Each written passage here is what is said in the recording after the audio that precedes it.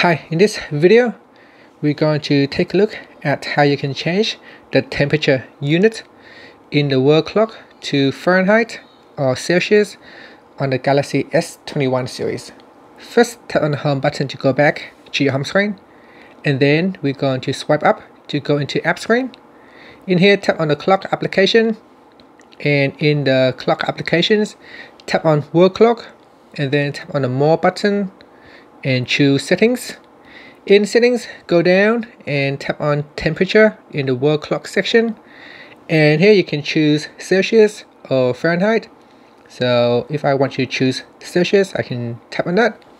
And now if I tap on the back key, it will show the weather information in Celsius unit. And that's it. Finally, you can tap on the home button to go back to your home screen. Thank you for watching this video. Please subscribe to my channel for more videos.